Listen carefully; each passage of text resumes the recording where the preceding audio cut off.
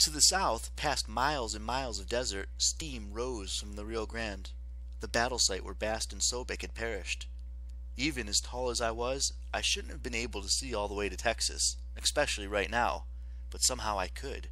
To the north, even farther away, I saw a distant red glow, and I knew it was the aura of Set.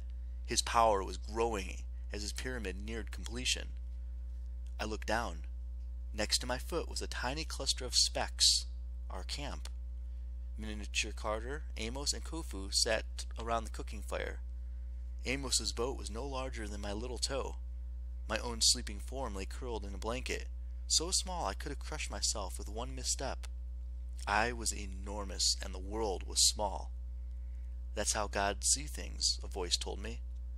I looked around but saw nothing, just the vast expanse of rolling white dunes. Then in front of me the dunes shifted. I thought it was the wind until an eerie dune rolled sideways like a wave. Another moved, and another, and I realized I was looking at a human form, an enormous man lying in a fetal position. He got up, shaking white sand everywhere. I knelt down and cupped my hands over my companions to keep them from getting buried.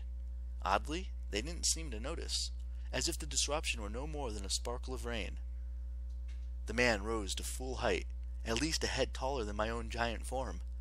His body was made of sand that curtained off his arms and chest like waterfalls of sugar. The sand shifted across his face until he formed a vague smile. Sadie Kane, he said, I've been waiting for you. Geb?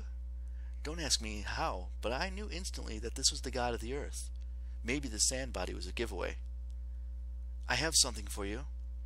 It didn't make sense that my ba would have the envelope, but I reached into my shimmering ghost pocket and pulled out the note from Nut. Your wife misses you, I said. Geb took the note gingerly. He held it to his face and seemed to sniff it. He opened the envelope. Instead of a letter, fireworks burst out. A new constellation blazed in the night sky above us. The fate of Nut, the face of Nut formed by a thousand stars. The wind rose quickly and ripped the image apart, but Geb sighed contentedly. He closed the envelope and tucked it inside his sandy chest, as if there were a pocket right where his heart should be. I owe you thanks, Sadie Kane, Geb said. It has been many millennia since I saw the face of my beloved. Ask me a favor that the earth can grant, and it shall be yours. Save my father, I said immediately. Geb's face rippled with surprise. Hmm, what a loyal daughter.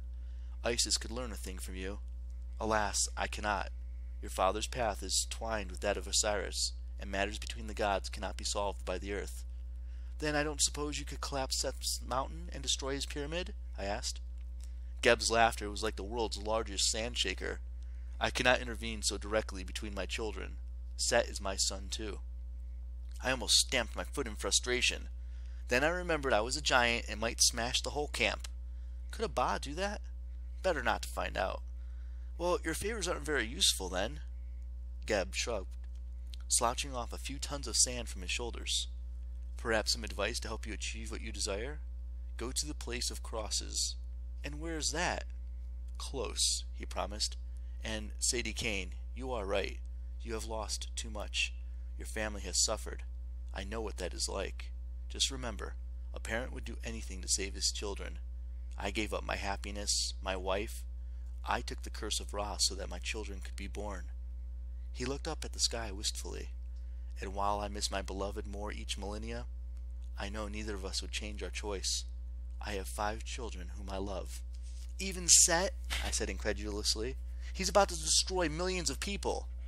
Set is more than he appears, Geb said. He is our flesh and blood. Not mine. No? Geb shifted, lowering himself.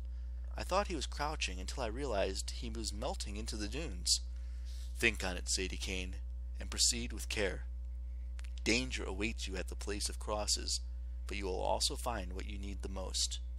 Could you be a little more vague? I grumbled. But Geb was gone, leaving only a taller than normal dune in the sands, and my ba sank back into my body.